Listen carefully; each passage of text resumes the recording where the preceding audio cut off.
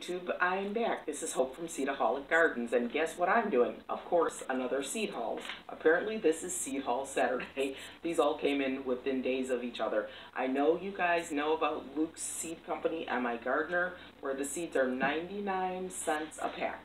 If you don't know, go to MI, capital M, capital I, Gardener, G-A-R-D-E-N-E-R dot com, and you will find he has over 460 varieties of heirloom and open pollinated vegetable seeds. That's a really great price. So I'm just going to show you what I picked up.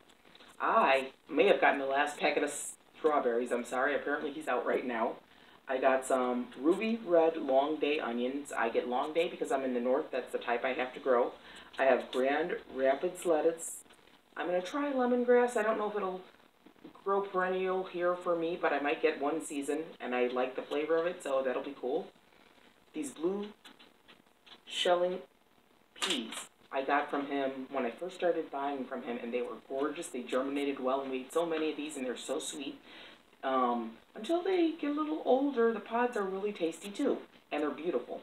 I got some holy basil, um, just because it's used in Ayurvedic medicine, and it's holy, and I thought, why, who can't use a little of that in their life?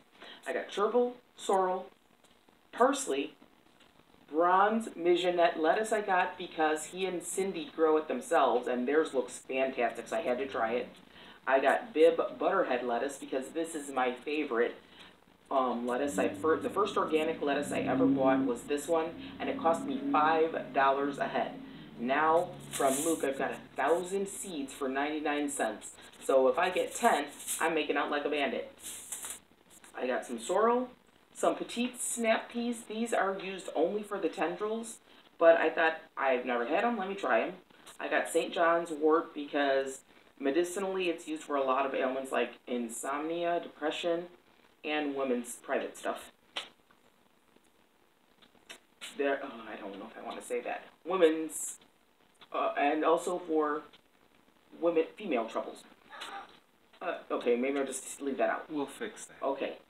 I also got magenta sunset Swiss chard. I love all kinds of Swiss chard. I love rainbow ones, but I really like the reds and the pinks, so I wanted to get more of that color supported in my mix, so I wanted to bulk it up by adding this.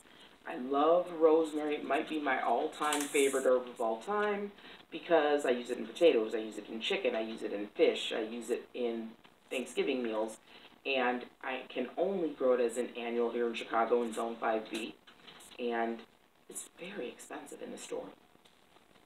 I'm growing leeks because I love them. I didn't realize until recently how much I like them, and they're expensive too. Fenugreek I got because it's really good for you and tasty. And then I got red Russian kale because I'm going to try to overwinter this one. Apparently it's very, very hardy. This is one of the ones I believe that um, I can't remember who the tuber is that grows this over the winter, but I'm going to try and do it because I love kale of any type. Scarlet's my favorite, but this is going, where I'm going to start because I've heard that it will take a frost, which in Chicago, you know I get plenty of. I'm going to grow some cumin because I like the flavor of that in my chili and different um, Mexican dishes, and I try to be as authentic to the cuisine I'm cooking as possible.